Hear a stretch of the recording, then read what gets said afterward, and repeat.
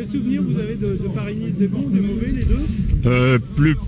Ça n'a jamais été ma course de prédilection parce que j'ai jamais eu la possibilité de la gagner. La seule fois que j'ai pu la gagner, euh, j'ai fait deuxième parce que euh, y a eu des manifestations sur la route qui m'ont empêché de faire la course comme j'en avais envie, alors que j'étais sur le point de la gagner. Mais ça fait partie de la vie de courant cycliste.